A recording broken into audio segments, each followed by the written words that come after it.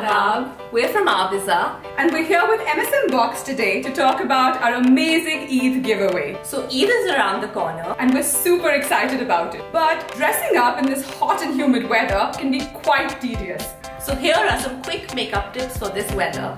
Skip the foundation. Trust us.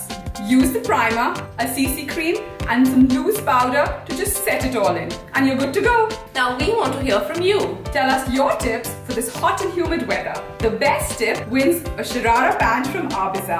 To participate, follow the rules in the description below and, and Eid Mubarak!